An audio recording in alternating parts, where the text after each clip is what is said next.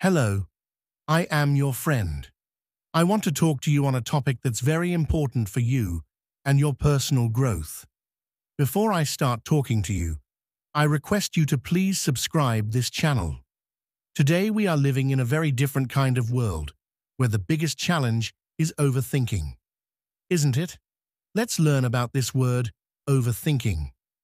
Bob Proctor says, When I don't think about myself, I start watching TV serials and news.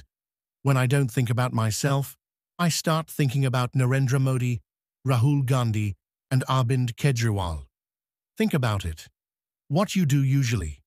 When you are scrolling mobile, ask to yourself why you are doing this. You will say, I am just passing the time. No, no, don't get confused.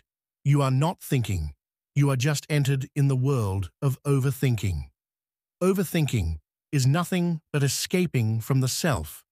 Overthinking is simply not thinking where I am today and where I want to go. Overthinking means thinking for others, thinking for outside world. Psychologically, you may say, when I am influenced by my sense organs, I am overthinking, and when I am influenced by some goal, and I am emotionally involved with that goal, I am thinking.